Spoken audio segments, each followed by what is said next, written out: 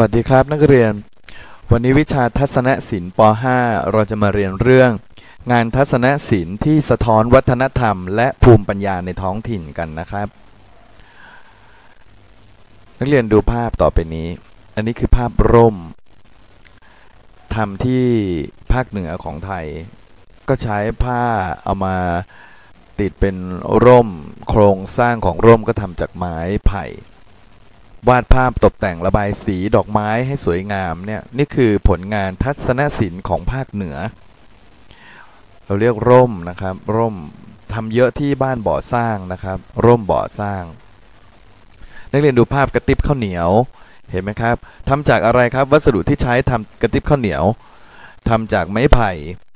ย้อมสีให้สวยงาม เอามาสารให้เกิดลวดลาย แล้วก็ยังเป็นเครื่องใช้ที่เอาไว้ใส่อะไรครับ กระติบข้าวเหนียว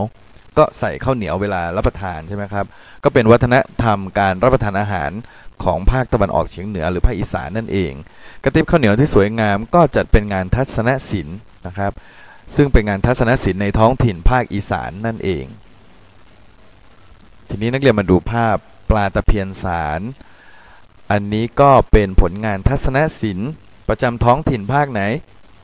ภาคกลางนะครับ ครูเห็นทำเยอะที่จังหวัดพระนครศรีอยุธยานั่นเองนะครับปลาตะเพียนสารก็ใช้ใบลานเอามาสารเป็นรูปปลาตะเพียน ระบายสีตกแต่งให้สวยงาม เป็นโมบายเครื่องแขวนที่ดูสวยงามประดับประดา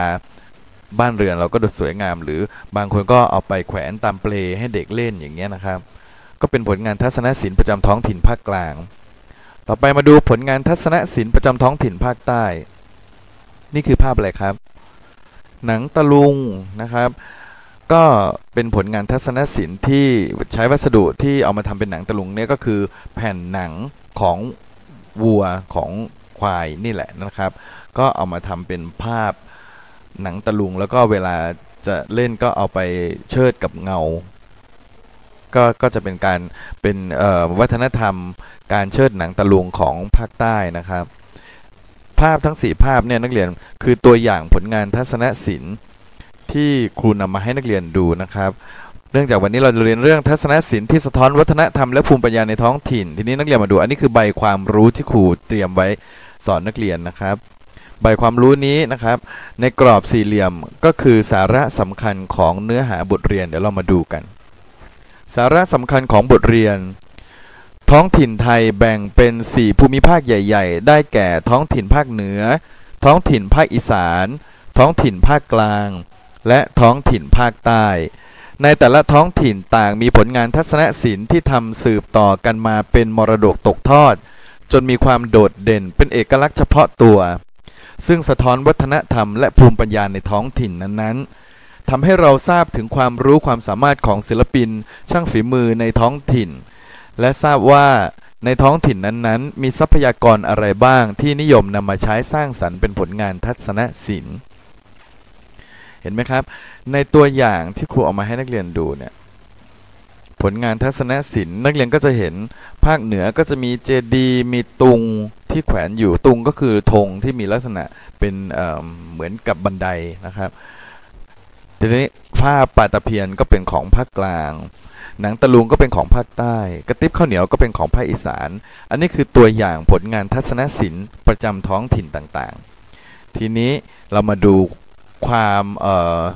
คำศัพท์ที่เราจะได้เรียน 4คำต่อไปนี้นะครับนักเรียนคำที่ 1คำว่างานทัศนศิลป์ งานทัศนศิลป์หมายถึงผลงานศิลปะที่มองเห็นได้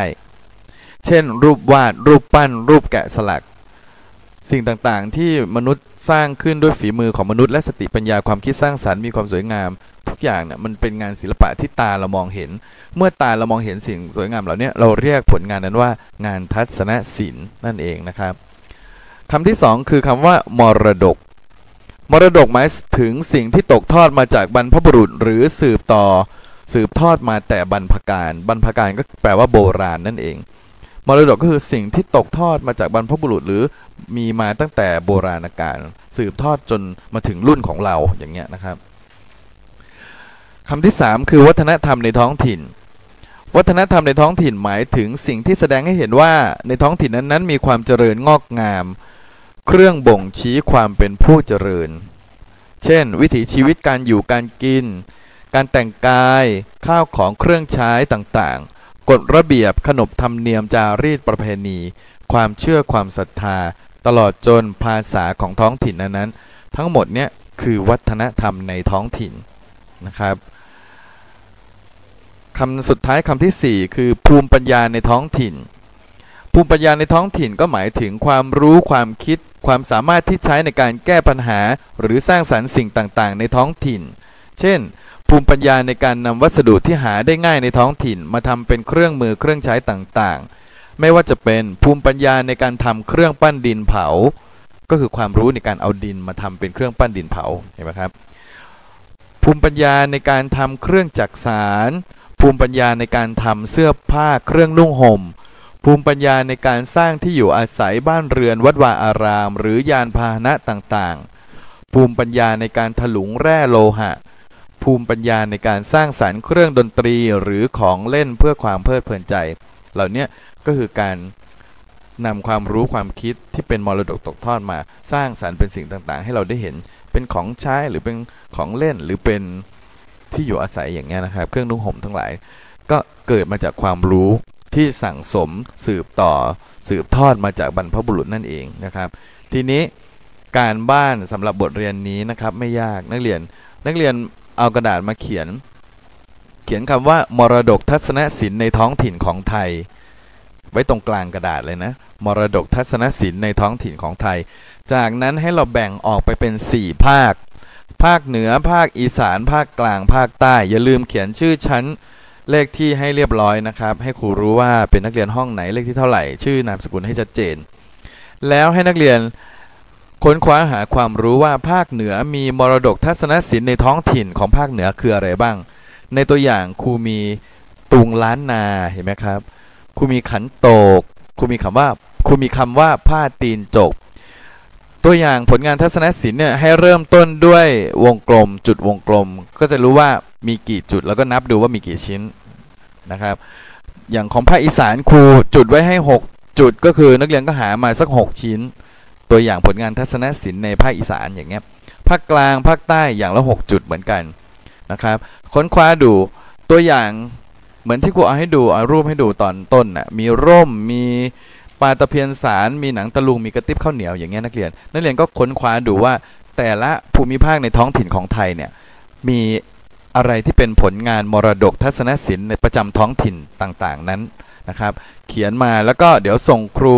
วันพฤหัสหน้านะครับพฤหัสที่ 27 มกราคม65 แล้วเดี๋ยวครูจะนำเสนอเนื้อหาให้นักเรียนได้ดูต่อไปนะครับสำหรับสัปดาห์นี้ก็จบแต่เพียงเท่านี้นะครับ สวัสดีครับ